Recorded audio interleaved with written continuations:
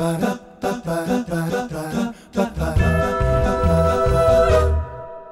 got these like abs that just came out of nowhere, and all of a sudden, uh, girls liked it. So you know, you gotta make sure you eat your breads.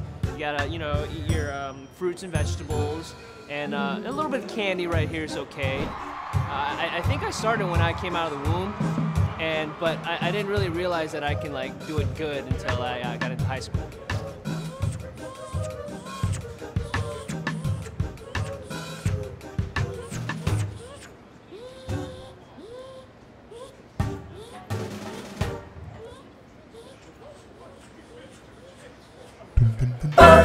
Glee, the 3D concert movie, August 12th in Real D and Digital 3D, rated PG.